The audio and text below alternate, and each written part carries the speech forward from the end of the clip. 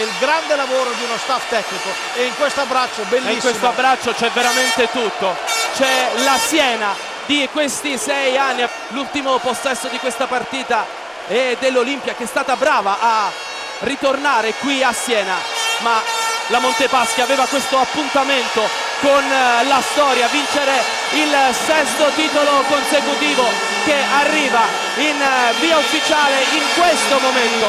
Montepaschi batte Olimpia Milano 84 a 73 ed entra nell'Olimpo del basket italiano.